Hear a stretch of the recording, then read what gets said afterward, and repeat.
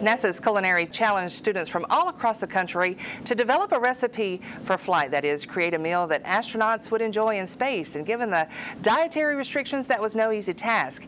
It was a huge learning experience for all these classes, including for one right here in Huntsville from the Huntsville Center for Technology that made it all the way to the top 10. But could their tasty treat win it all?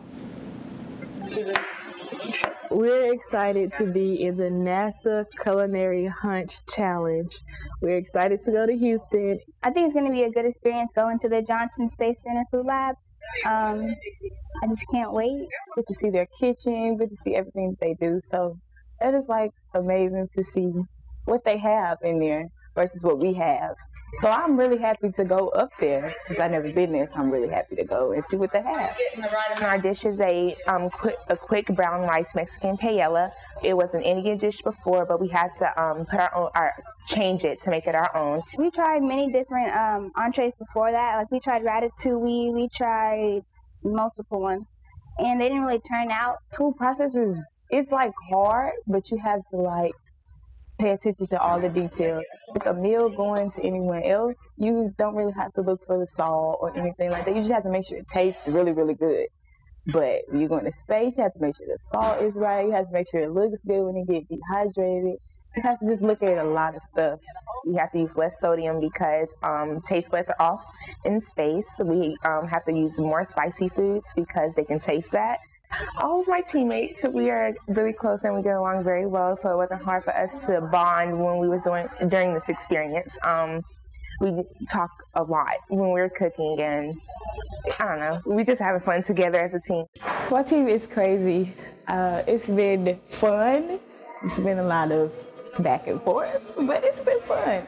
Being with them every day, cooking with them, and everything. It's so fun and you know, learning different people and how they cook and everything and all that. Astronauts are going to love it.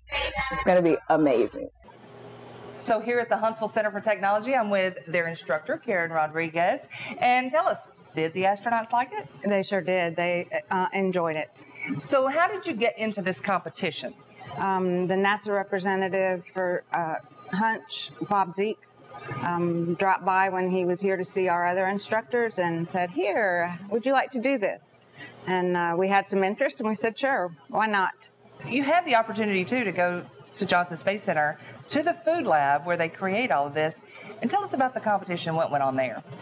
Uh, we arrived at the competition and um, it was really exciting walking in and then setting up and getting ready. Um, looking at the other teams and what they did, and then hearing um, people talk about uh, the, the Johnson Food Lab. That was very interesting. So you had astronauts judge it. Is that right? Is that there were um, some astronauts and then some employees from the Johnson uh, Food Lab and a few other people. I think there was about 12 judges. So, would you do it all over again? Oh, of course. I can't wait till next year. You had a great group of girls, and how did you decide what you were going to make? They did a lot of experimenting. I made them pick three recipes, and we tested the recipes, and uh, we looked at the um, guidelines as far as fiber, fat, sugar content, those kind of things. And we narrowed it down to one. It was an Indian dish, and they ended up changing it to a Mexican dish that was a little more colorful. Oh, and you said it was spicy and healthy. Healthy, yes. Yeah, high fiber and uh, spicy.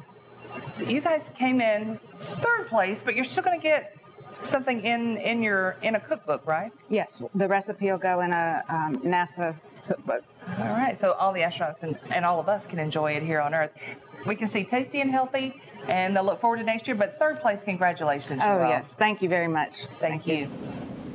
Yes, congratulations to them again and to the winning team from Passaic County Technical Institute from New Jersey, where they're winning red pepper risotto. Now, their entree will be processed for flight for the astronauts to try on the International Space Station. And a close second was another team from right here in Alabama, Trussville High School. Can't wait for that cookbook to come out.